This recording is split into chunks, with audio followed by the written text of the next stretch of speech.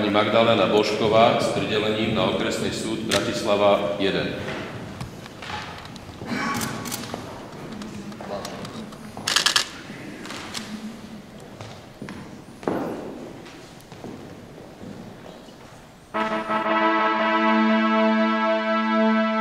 Ja poprosím magistra Magdalena Bošková. Dobrý deň, pani kandidátka.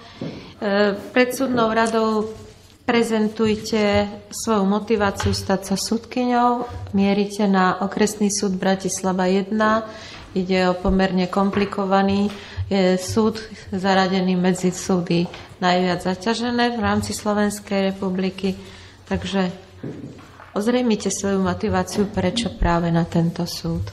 Vážená, vážená pani predsednička súdnej rady, vážení členovia súdnej rady, dovolte mi, aby som sa v krátkosti predstavila. Volám sa Magdalena Bošková, pracujem na Krajskom súde e, v Bratislave. E, v roku 2009 som nastúpila ako justičný čakateľ na Krajský súd v Bratislave, pričom odbornú prax som vykonávala na okresnom súde Bratislava 4, kde som sa oboznámila s prácou v podateľni, infocentre a na súdnom, uddele, na súdnom oddelení. E, prešla som si úsekom poručenským, civilným a správnou agendou, ktorú som neskôr začala vykonávať na Krajskom súde v Bratislave. Eh, tuto vykonávam eh, do dnešného dňa ako vyšší súdny úradník, eh, keďže sa legislatíva zmenila a justičný čakateľ bol zrušený. So sudcami, s ktorými som spolupracovala a spolupracujem, som pripravovala spisy na pojednávania, priebežne vybavovala prvostupňovú agendu, vypracovávala rôzne právne, skutkové analýzy spisov, koncepty súdnych rozhodnutí, zúčastňovala sa pojednávaní.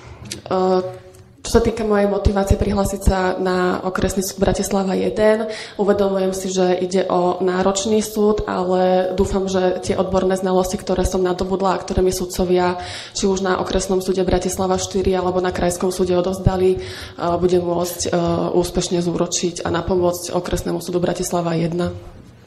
Ďakujem. Ďakujem. Otázky na č- e, z členov súdnej rady na kandidátku. Doktor Sadovský. Eh, nebol som priamo členom výberovej komisie, ktorá vybrala eh, pani kolegyňu. Eh, v podstate ako aj nadriadený v súčasnosti môžem potvrdiť, že ten výber bol zrejme v poriadku.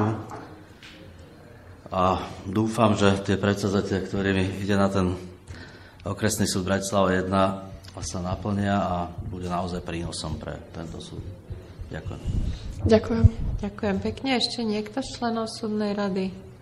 Ak tomu tak nie je, ďakujeme. Ďakujem veľmi pekne, dovidenia.